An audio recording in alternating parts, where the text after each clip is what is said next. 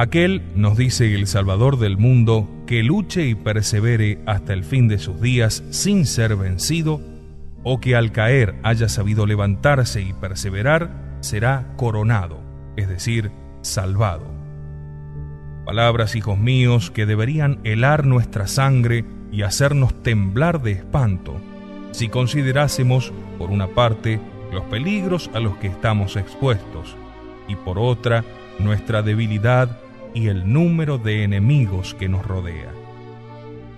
No nos admire que los más grandes santos hayan dejado a sus parientes y amigos, hayan abandonado sus bienes y placeres para ir a sepultarse en vida en medio de la selva agreste a llorar sus pecados, entre los peñascos, o a encerrarse entre cuatro paredes para llorar allí durante el resto de sus días, a fin de quedar libres y desembarazados de todo tráfago mundano, y no ocuparse en otra cosa que en combatir a los enemigos de su salvación, persuadidos de que el cielo solo sería concedido a su perseverancia. Mas me dirá alguno, ¿qué es perseverar?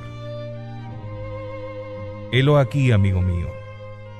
Es estar pronto a sacrificarlo todo, los bienes, la voluntad, la libertad, la misma vida, antes que desagradar a Dios. Pero me dirás aún, ¿qué viene a ser no perseverar? Helo aquí.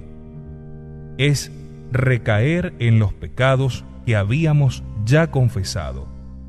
Es seguir las malas compañías que nos indujeron al pecado, el mayor de todos los males, ya que por él hemos perdido a Dios, hemos atraído sobre nosotros toda su cólera, hemos arrebatado al cielo nuestra alma y la hemos arrastrado al infierno.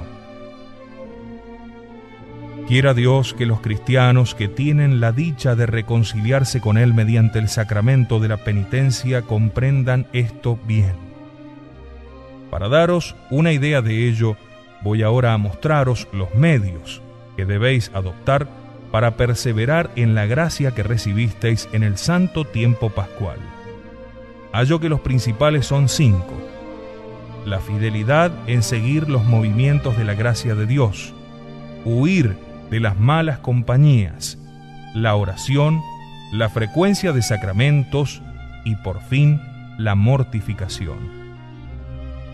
Hoy sí, que a lo menos una tercera parte de los que me estáis oyendo podréis decir que lo que escucháis no va con vosotros.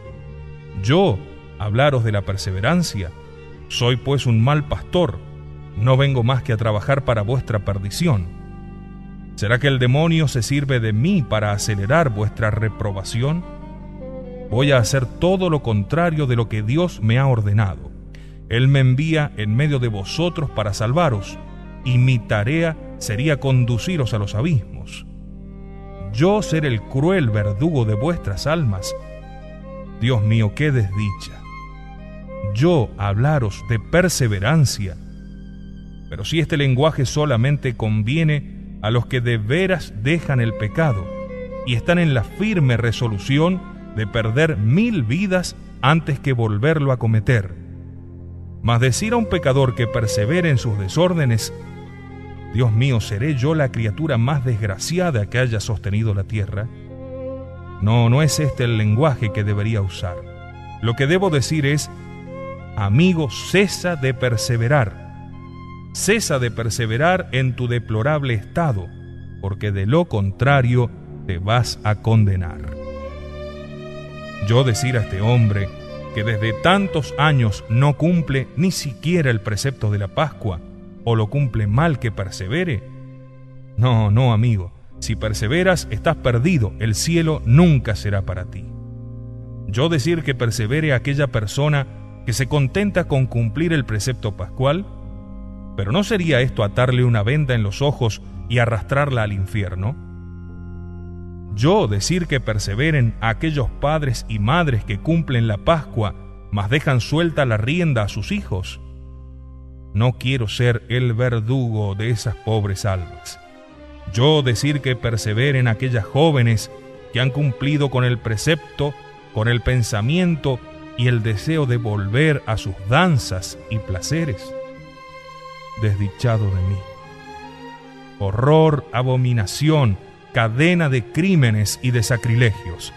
Yo decir que perseveren aquellas personas que solo frecuentan los sacramentos cinco o seis veces al año y no dan muestras de cambio alguno en su manera de vivir, las mismas quejas en sus penas, los mismos arrebatos, la misma avaricia, la misma dureza con los pobres, siempre igualmente dispuestos para calumniar y para manchar la reputación del prójimo? Dios mío, cuántos cristianos ciegos y entregados a la iniquidad.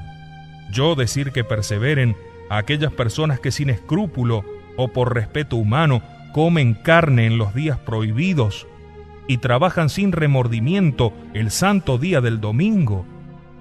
Dios mío, qué desgracia. ¿A quién me he de dirigir entonces? No lo sé.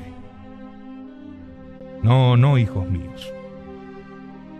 No es de la perseverancia en la gracia de lo que debería hablaros hoy. Mejor sería pintaros el estado horrible y desesperado de un pecador que no cumplió el precepto pascual, o que lo cumplió mal y persevera en tal estado. Quisiera Dios que me fuese permitido pintar ante vuestros ojos la desesperación de un pecador citado ante el tribunal de su juez, cuyas manos empuñan rayos y centellas, y daros a escuchar esos torrentes de maldición. Anda, réprobo maldito, anda, endurecido pecador, vete a llorar tu vida criminal y tus sacrilegios. ¿No tienes bastante con haber vivido en la corrupción durante toda tu vida? Y aún así sería preciso llevarlos hasta la puerta del infierno antes que el demonio los precipite allí para no salir jamás, a fin de que oyesen los gritos, los alaridos de aquellos desgraciados réprobos, y a fin de que pudiesen ver el sitio que en aquel lugar tienen ustedes destinado. Dios mío, ¿les sería posible seguir viviendo luego de conocer esto? Un cielo perdido, un infierno, una eternidad. Despreciaron, profanaron los sufrimientos, ¿qué digo los sufrimientos? La muerte de un Dios. Tal es la recompensa de perseverar en el pecado. Sí. Tal es el asunto que debería hoy tratar. Mas hablaros de la perseverancia que supone la existencia de un alma que teme el pecado más que la muerte misma, que emplea sus días en el amor de Dios, un alma, digo, desnuda de toda afección terrena, cuyos anhelos solo tienen el cielo por objeto, pero ¿dónde queréis que vaya? ¿Dónde podré encontrar hoy este alma? ¿Dónde está? ¿Cuál es el afortunado país que posee una sola? Ninguna o casi ninguna he hallado yo. Dios mío, tal vez vos veáis alguna desconocida para mí. Hablaré pues como si estuviese seguro de que hay una o dos a lo menos, y les mostraré los medios que deben emplear para continuar la senda feliz que han comenzado. Escuchadme bien, almas santas, si es que por ventura se halla alguna entre los que me escuchan. Prestad atención lo que Dios va a deciros por mi boca. Digo pues, en primer lugar, que el primer medio para perseverar en el camino que conduce al cielo es ser fiel en seguir y aprovechar los movimientos de la gracia que Dios tiene a bien concedernos. Los santos no deben su felicidad más que a su fidelidad en seguir los movimientos que el Espíritu Santo les enviara, así como los condenados no pueden atribuir su desdicha a otra cosa que al desprecio que de tales movimientos hicieron. Esto solo debe bastar para haceros sentir la necesidad de ser fieles a la gracia. Pero me dirá alguno, ¿por qué medio vamos a conocer si correspondemos o resistimos a lo que la gracia quiere de nosotros? Si no lo sabes, amigo, escúchame un momento y conocerás lo más esencial. Digo ante todo que la gracia es un pensamiento que nos hace sentir la necesidad de evitar el mal y de hacer el bien. Entremos en algunos detalles familiares, a fin de que lo comprendáis mejor, y así verás cuándo eres fiel a la gracia y cuándo estás resistiéndote al llamado de Dios. Por la mañana, al despertarte, nuestro Señor te sugiere el pensamiento de consagrarle tu corazón, de ofrecerle los trabajos del día y de rezar enseguida, de rodillas, las oraciones de la mañana. Si lo practicas así prontamente y de todo corazón, estás siguiendo el movimiento de la gracia. Pero si no lo practicas o lo haces mal, entonces dejas de seguir el movimiento. En otra ocasión sentirás de pronto el deseo de ir a confesarte, de corregir tus defectos y dejar de ser lo que al presente pensarás que, si llegas a morir, serías condenado. Si sigues esa buena inspiración que Dios te está enviando, estás siendo fiel a la gracia. Mas tú dejas pasar esto sin hacer nada. Te viene el pensamiento de dar alguna limosna, de practicar alguna penitencia, de asistir a día a los misas laborables, de hacer que asistan también tus criados, mas no lo haces. Aquí tenéis, hijos míos, lo que es seguir los movimientos de la gracia o bien resistirse a ellos. Todo esto viene comprendido bajo el nombre de gracias interiores. En cuanto a las llamadas gracias exteriores, podemos citar como ejemplo una buena lectura, la conversación con una persona virtuosa que os hará sentir la necesidad de cambiar de vida, de servir mejor al buen Dios, los remordimientos que vais a tener a la hora de la muerte o también el buen ejemplo de otras personas presentándose repetidamente ante vuestros ojos, como si os estimulase a convertiros. O también un sermón o instrucción religiosa que os enseñe los medios que se han de emplear para servir a Dios y cumplir vuestros deberes para con Él para con vosotros mismos y para con el prójimo. Tened presente que vuestra salvación o vuestra condenación dependen de esas gracias.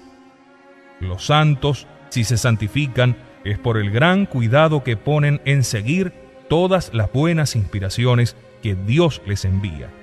Y los condenados han caído en el infierno porque las despreciaron. Vais a ver ahora una prueba de ello. Vemos efectivamente en el Evangelio que todas las conversiones obradas por Jesucristo durante su vida mortal se apoyaron en la perseverancia. ¿Cómo sabemos que San Pedro se convirtió? Bien se dice que Jesús le miró, que San Pedro lloró su pecado. Mas ¿qué es lo que nos asegura su conversión sino el haber perseverado en la gracia, no pecando jamás? ¿Cómo ocurrió la conversión de San Mateo? Sabemos muy bien que habiéndole visto Jesucristo en aquella oficina, le dijo que le siguiese y en efecto le siguió. Mas lo que nos certifica que su conversión fue verdadera es el hecho de no haber vuelto a entrar en su despacho ni haber cometido en adelante ninguna injusticia. En cuanto comenzó a seguir a Jesucristo, ya no le abandonó jamás la perseverancia en la gracia, el renunciar al pecado para siempre, fueron las señales más ciertas de su conversión. Sí, hijos míos, aunque vivieseis 20 o 30 años en la virtud y en la penitencia, si no perseveraseis, todo lo habréis perdido.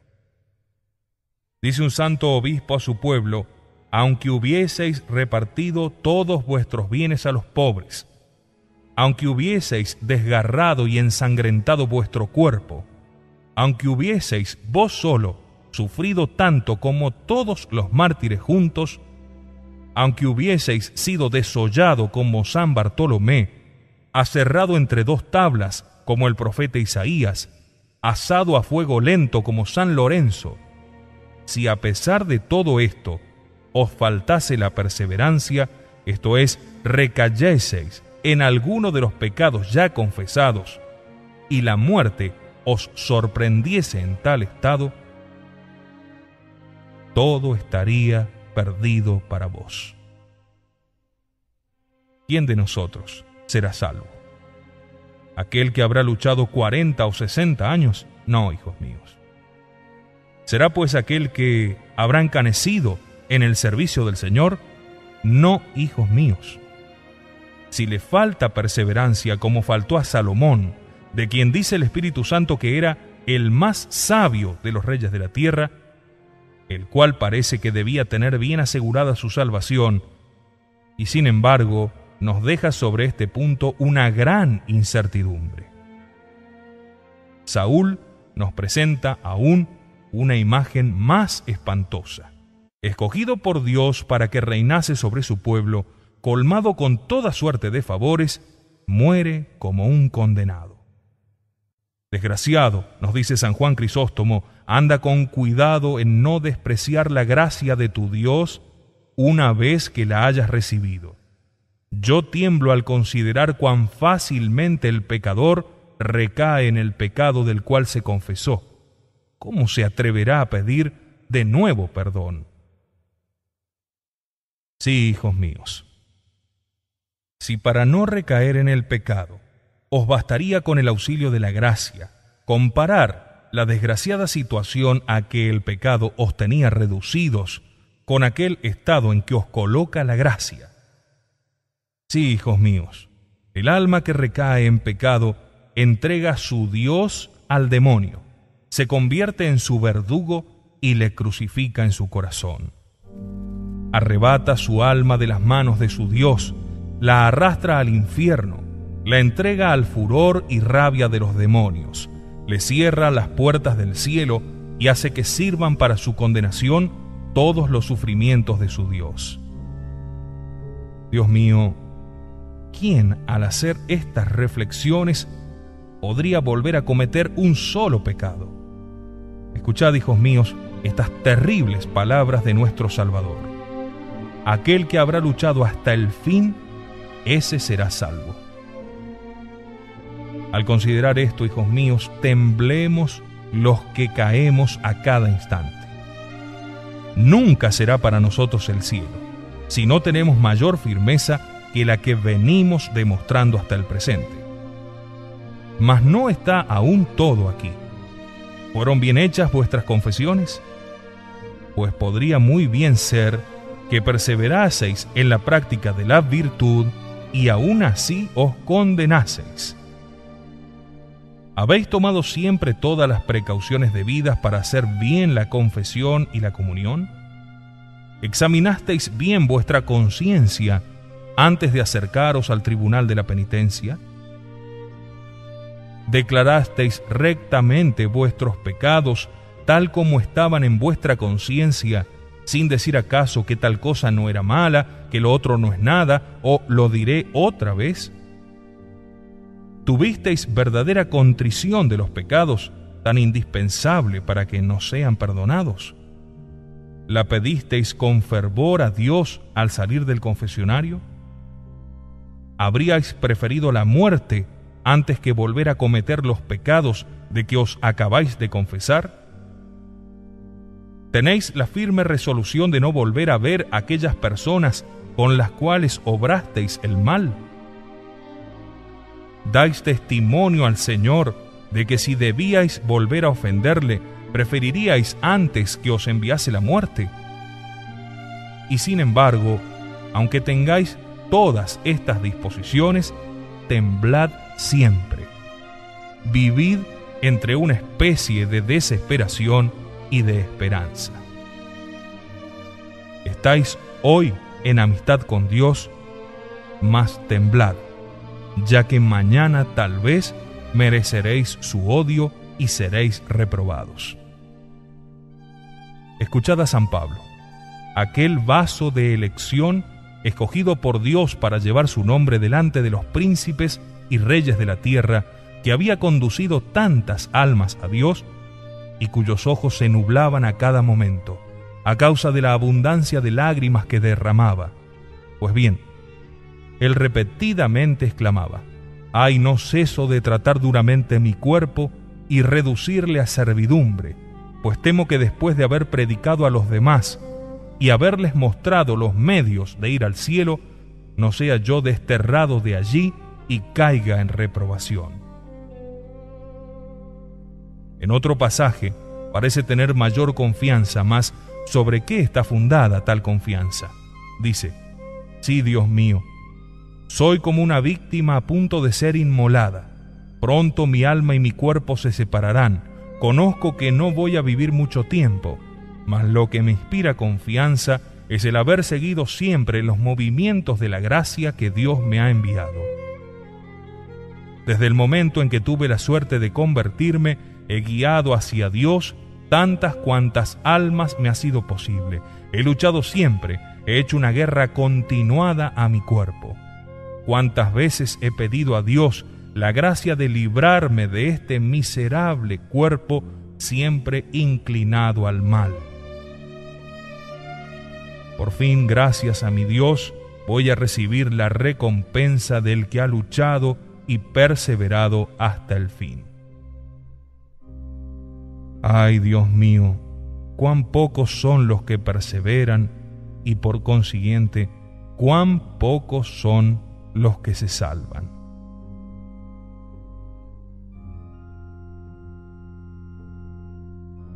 Leemos en la vida de San Gregorio que una dama romana le escribió para pedirle el auxilio de sus oraciones, a fin de que Dios la hiciese conocer si le habían sido perdonados sus pecados y si a su tiempo recibiría ella el premio de sus buenas obras. Decía, ah, temo que Dios no me haya perdonado. Ay, contestaba San Gregorio, cosa muy difícil es lo que me pedís. Sin embargo, os diré que podéis esperar el perdón de Dios y que iréis al cielo si perseveráis. Mas a pesar de todo cuanto habéis obrado, seréis condenada si no perseveráis. ¿Cuántas veces usamos nosotros el mismo lenguaje y nos inquietamos por saber si nos vamos a salvar o a condenar? Pensamientos inútiles, hijos míos. Escuchemos a Moisés, cuando a punto de morir hizo congregar las doce tribus de Israel. Les dijo, ya sabéis que os he amado entrañablemente que solo he procurado vuestro bien y vuestra salvación. Ahora que voy a dar cuenta a Dios de todas mis acciones, es necesario que os avise, que os excite a no olvidar jamás esto.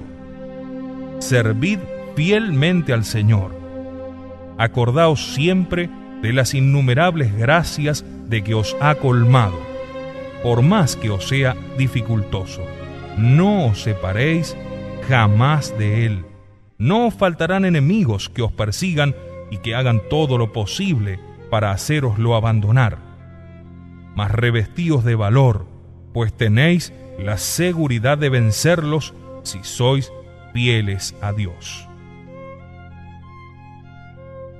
Hijos míos, las gracias que Dios nos concede son aún más abundantes y los enemigos que nos rodean mucho más poderosos. Digo las gracias porque ellos no habían recibido más que algunos bienes temporales y el maná. Pero nosotros tenemos la dicha de recibir el perdón de nuestros pecados, de arrebatar nuestra alma del poder del infierno y de ser alimentados no con el maná, sino con el cuerpo y la sangre adorable de Jesucristo. Dios mío, qué dicha la nuestra. ¿A qué pues volver a trabajar continuamente para perder un tesoro semejante? ¿Cuántos son los que no perseveran porque les da miedo la batalla? Leemos en la historia que un santo sacerdote halló un día a un cristiano dominado por un temor incesante de sucumbir ante la tentación. El sacerdote le dijo, ¿por qué teméis? Ay, Padre mío, contestó, temo ser tentado, sucumbir y perecer. Ah, exclamaba llorando, no tengo motivos para temblar cuando tantos millones de ángeles sucumbieron en el cielo, cuando Adán y Eva fueron vencidos en el paraíso terrenal, cuando Salomón, que es tenido por el más sabio de los reyes y que había llegado al más alto grado de perfección, manchó sus canas con los crímenes más deshonrosos y vergonzosos. Cuando este hombre, después de haber sido la admiración del mundo, se convirtió en oprobio y desdoro de la humanidad, cuando considero a un Judas sucumbiendo en compañía del mismo Jesucristo, cuando tan grandes lumbreras se apagaron, Padre, ¿qué debo pensar de mí mismo? Que no soy más que pecado. ¿Quién podrá enumerar las almas que están en el infierno y que a no ser la tentación estarían en la gloria? Dios mío, exclamaba, ¿quién no temblará? ¿Quién podrá tener esperanza de perseverar? Mas, amigo mío, le dijo el santo sacerdote, ¿no sabéis lo que nos dice San Agustín que el demonio es como un perro encadenado, acosa y mete mucho ruido, pero solo muerde a los que se ponen a su alcance. Tened confianza en Dios, huid de las ocasiones de pecar y así no sucumbiréis.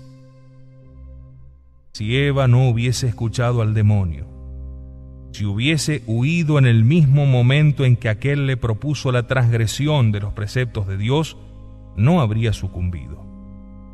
Al veros tentado, rechazad al momento la tentación, y si tenéis oportunidad, haced devotamente la señal de la Santa Cruz. Pensad en los tormentos que deben experimentar los condenados por no haber sabido resistir la tentación. Elevad al cielo vuestra mirada y veréis allí cuál sea la recompensa del que lucha. Llamad en vuestro socorro a vuestro ángel de la guarda, Echaos prontamente en brazos de la Virgen Santísima, implorando su protección. Con eso tenéis la seguridad de salir victorioso de vuestros enemigos, a los cuales veréis al punto llenos de confusión.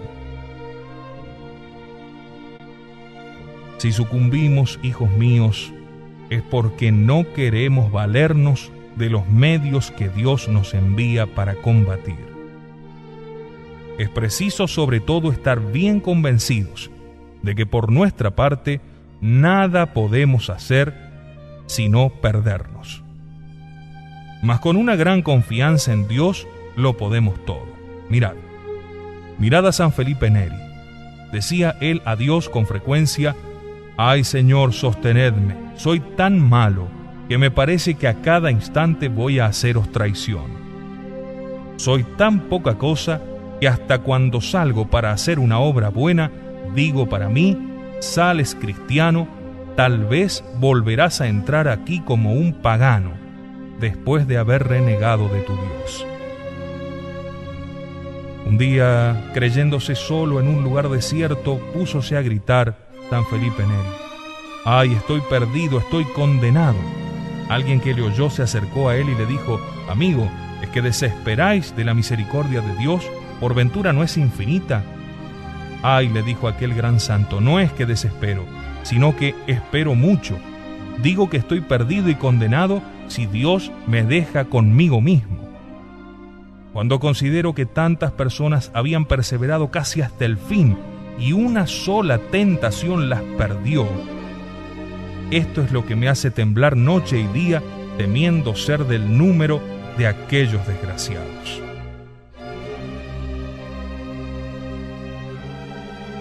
Ay, hijos míos, si todos los santos temblaron durante su vida por temor de no perseverar, ¿qué será de nosotros, que sin virtudes, casi sin confianza en Dios, cargados de pecados, ay, hijos míos, si todos los santos temblaron durante su vida por temor de no perseverar, ¿qué será de nosotros? Que sin virtudes, casi sin confianza en Dios, cargados de pecados, no ponemos diligencia alguna en librarnos de los lazos que el demonio nos tiende.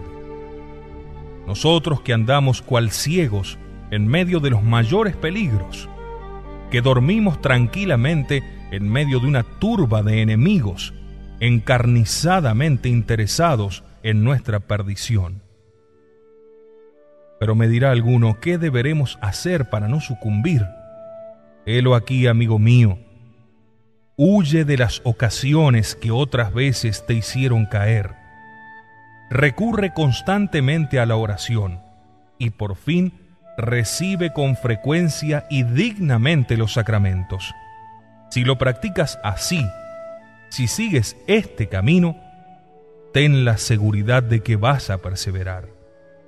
Pero si no tomas estas precauciones, en vano tomarás otras medidas. Forzosamente vendrás a caer y perderte. He dicho en segundo lugar que en cuanto os sea posible debéis huir del mundo, ya que su lenguaje y su manera de vivir son enteramente opuestos a lo que un cristiano debe hacer. Es decir, son incompatibles con el comportamiento de una persona que anda en busca de los medios más seguros para llegar al cielo. Interrogad a Santa María Egipcíaca, que dejó el mundo y pasó su vida en el corazón de un espantoso desierto.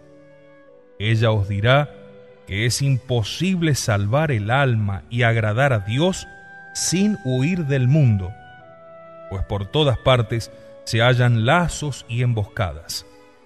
Y siendo el mundo contrario a Dios, es preciso despreciarlo y abandonarlo para siempre. ¿Dónde oísteis aquellas canciones malas? Aquellos dichos infames que son causa de una infinidad de pensamientos y deseos perversos. ¿No fue precisamente al hallaros en compañía de aquellos libertinos? ¿Quién os hizo formular aquellos juicios temerarios? ¿No fue al oír hablar del prójimo en compañía de aquel maldiciente? ¿Quién os indujo al hábito de dar miradas o de tener tocamientos abominables con vosotros mismos o con los demás? ¿No fue ello por haber frecuentado la compañía de aquel impúdico? ¿Cuál es la causa de que no recibáis ya los sacramentos? ¿No ocurre ello desde que os tratáis con aquel impío, el cual ha procurado haceros perder la fe, diciéndoos que todo cuanto predica el sacerdote son tonterías, que la religión es sólo para dominar a la juventud, que es cosa de imbéciles ir a contar a un hombre lo que uno ha hecho, que toda la gente ilustrada se burla de todo esto, entiéndase claro, hasta la hora de la muerte, entonces habrán todos de reconocer que se habían engañado. Pues bien, amigo mío, sin aquella mala compañía, ¿te habrían ocurrido tales dudas? Indudablemente que no. Dime, hermana mía, ¿desde cuándo sientes tanto gusto por los placeres, las danzas y los bailes, las reuniones y la ropa mundana? ¿No es por ventura desde que frecuentas aquella otra amiga mundana la cual no contenta aún con haber perdido a su pobre alma, está ocasionando también la perdición de la tuya? Dime, amigo, ¿cuánto tiempo hace que frecuentas las tabernas o las casas de juego? ¿No es desde que conociste a aquel desenfrenado? Dime, ¿desde cuándo se te oye vomitar toda suerte de juramentos y maldiciones? ¿No es desde que estás al servicio de aquel dueño cuya boca y cuya garganta no son más que un canal de abominaciones. Hijos míos, en el día del juicio cada libertino verá a otro libertino pedirle su alma, su Dios, su gloria. Desgraciado, se dirán unos a otros, vuélveme el alma que me perdiste, restitúyeme el cielo que me arrebataste. Desgraciado, ¿dónde está mi alma? Arráncala del infierno donde la has arrojado. A no ser por ti no habría cometido aquel pecado que ahora es la causa de mi condenación. No, no, yo no tenía de ello conocimiento. No, si no, jamás hubiera tenido tal pensamiento. Hermoso cielo el que tú me has hecho perder. Adiós, cielo delicioso que tú me has arrebatado. Sí, cada pecador se arrojará sobre el que le dio malos ejemplos sobre el que le indujo a cometer los primeros pecados. Dirá, ojalá no te hubiese conocido nunca. Si a lo menos hubiese yo muerto antes de conocerte, ahora estaría en el cielo, pero no es ya para mí. Adiós, hermoso cielo, por muy poca cosa te perdí. No, hijos míos, nunca perseveraréis si no huís de las compañías mundanas. En vano querréis salvaros, no tendréis más remedio que condenaros o el infierno o la huida. No hay término medio. Determinad cuál de los dos extremos preferís. Desde el momento en que un joven o una joven siguen sus placeres, son joven y doncella condenados. En vano diréis que no obráis el mal, que quizá yo sea algo escrupuloso. No puedo menos de repetiros que siempre vendremos a parar en lo mismo que si no cambiáis, un día estaréis en el infierno. Y no solamente lo veréis esto, sino que además lo sentiréis. Hijos míos, echemos un velo sobre esta materia y pasemos a otro asunto.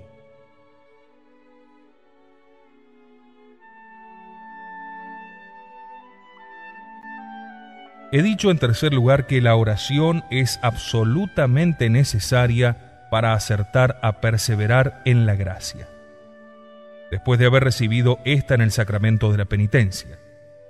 Con la oración todo lo podéis.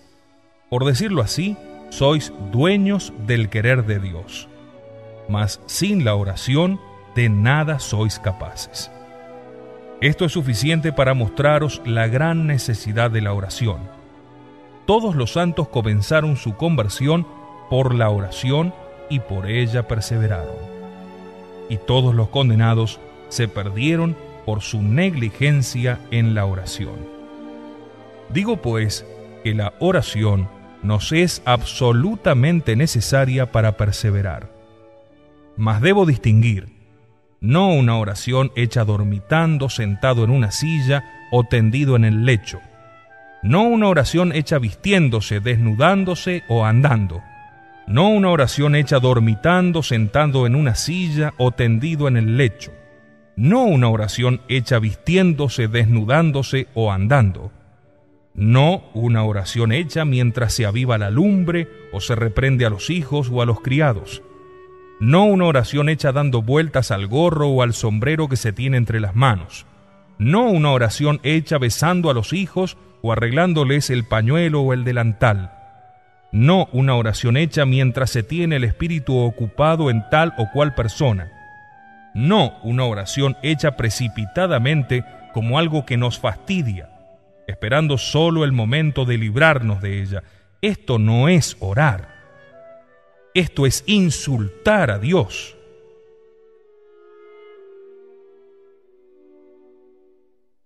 Lejos de hallar en ella un medio de asegurar nuestra perseverancia, constituye ella misma una caída, ya que en vez de alcanzar mediante su virtud un nuevo grado de gracia, Dios nos retira la que nos concediera para castigar así el desprecio que hacemos de su presencia. En lugar de debilitar a nuestros enemigos, los fortalecemos. En lugar de arrancarles las armas con las que nos combaten, les proporcionamos otras nuevas en lugar de aplacar la justicia de Dios, la irritamos más y más.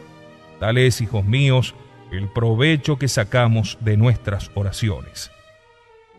Mas la oración de que os hablo, tan poderosa cerca de Dios que nos atrae tantas gracias, que parece hasta sujetar la voluntad de Dios, que parece, por decirlo así, forzarle a concedernos lo que le pedimos, viene a ser una oración hecha al impulso de una especie de desesperación y de esperanza. Digo desesperación, considerando nuestra indignidad y el desprecio que hemos hecho de Dios y de sus gracias, reconociéndonos indignos de comparecer ante su divina presencia y de atrevernos a pedir perdón después de haberlo recibido ya tantas veces y pagado siempre con ingratitud lo cual debe llevarnos en todos esos momentos de nuestra vida a creer que la tierra va a abrirse debajo de nuestros pies, que todos los rayos del cielo están a punto de caer sobre nuestras cabezas y que todas las criaturas claman venganza en vista de los ultrajes que hemos inferido a su Creador. Y allí, temblando delante de Él, estamos aguardando a ver si Dios lanzará sobre nosotros un rayo que nos aplaste, o si se dignará perdonarnos una vez más. Con el corazón quebrantado de dolor por haber ofendido a un Dios tan bueno, dejamos correr nuestras lágrimas de contrición y de gratitud, nuestro corazón y nuestra mente hállanse abismados en la profundidad de nuestra nada y en la grandeza de aquel a quien hemos ultrajado y el cual nos deja aún la esperanza del perdón. Lejos de mirar el tiempo de la oración como un momento perdido, lo tenemos por el más feliz y precioso de nuestra vida, puesto que un cristiano pecador no debe tener en este mundo otras ocupaciones que llorar sus pecados a los pies de su Dios. Lejos de considerar como primeros los negocios temporales y preferirlos a los de su salvación, los mira el cristiano como cosas de nada, o mejor, como obstáculos para su salud espiritual. No le preocupan sino en cuanto Dios le ordena que cuide de ellos, plenamente convencido de que si Él no los gestiona, otros cuidarán de hacerlo, pero que si no tiene la dicha de alcanzar el perdón y tener a Dios propicio, todo está perdido, ya que nadie cuidará de ello. No deja la oración sino con gran pena. Los momentos empleados en la presencia de Dios le parecen brevísimos. Pasan como el fulgor de un rayo. Si su cuerpo sale de la presencia de Dios, su corazón y su mente se quedan constantemente delante de la divinidad. Durante la oración no hay que pensar en trabajo alguno, ni en arrellanarse en una poltrona, ni en tenderse en el lecho. He dicho que el cristiano debe estar entre la desesperación y la esperanza.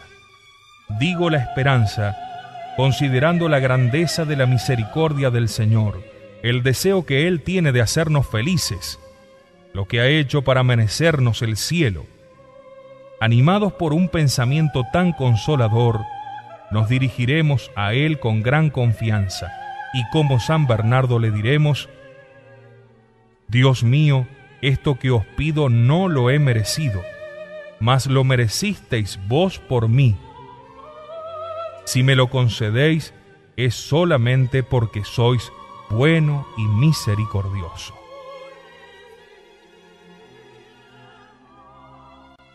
En cuarto lugar, hemos dicho que para tener la dicha de conservar la gracia de Dios, debíamos frecuentar los sacramentos.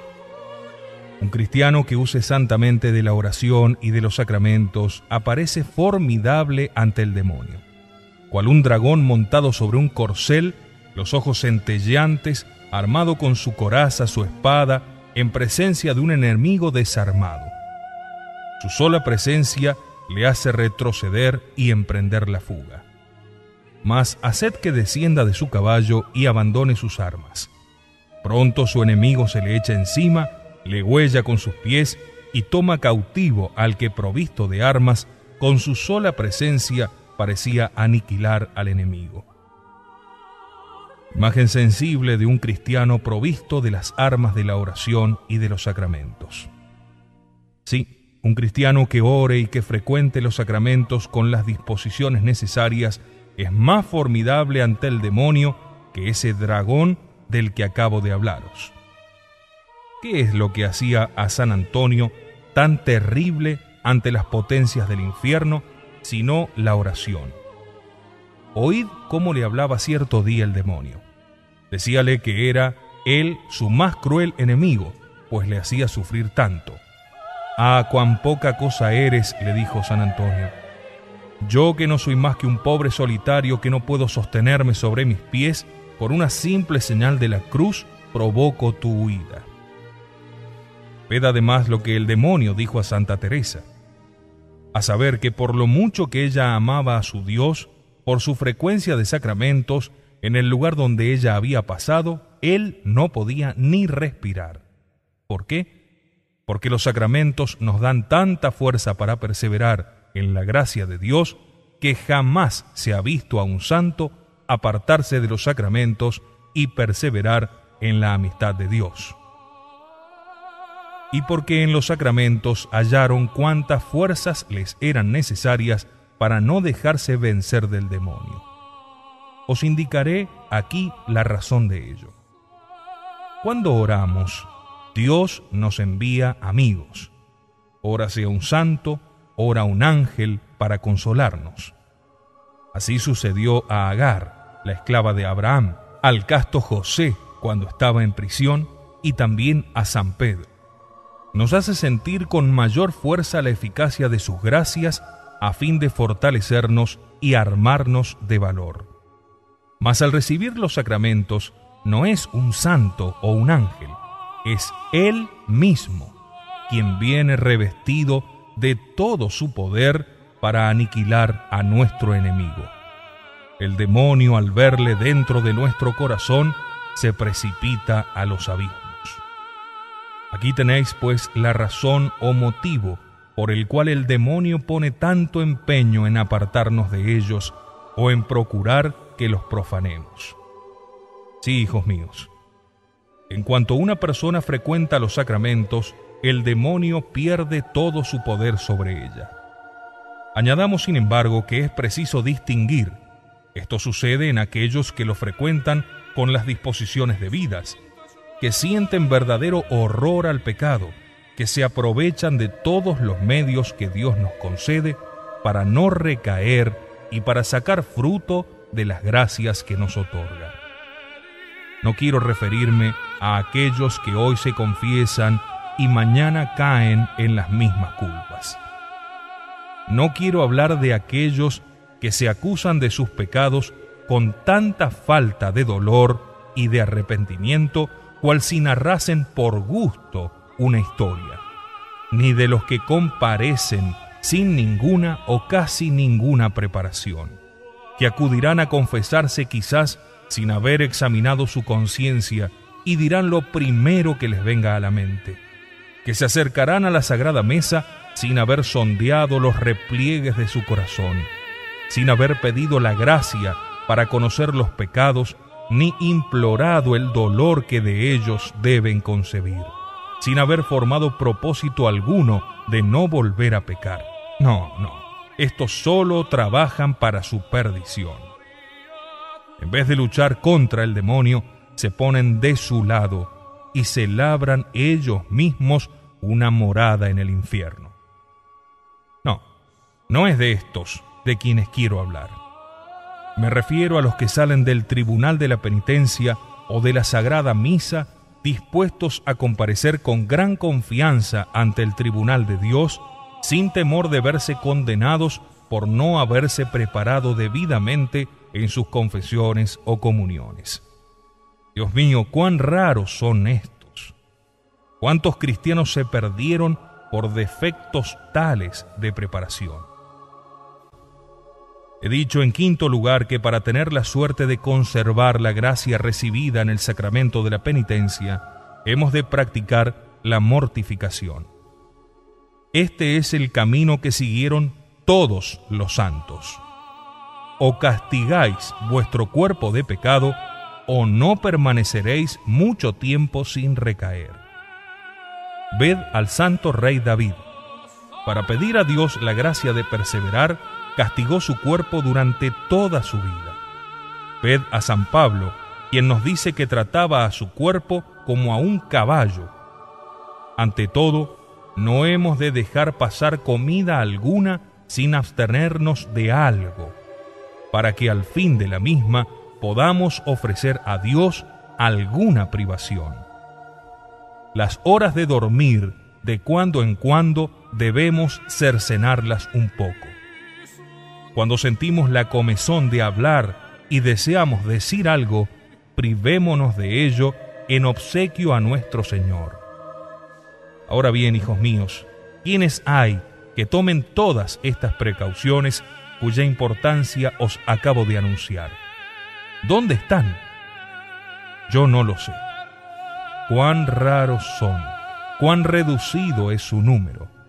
Mas también son raros los que habiendo recibido el perdón de sus pecados, perseveran en el feliz estado en que el sacramento de la penitencia los ha puesto.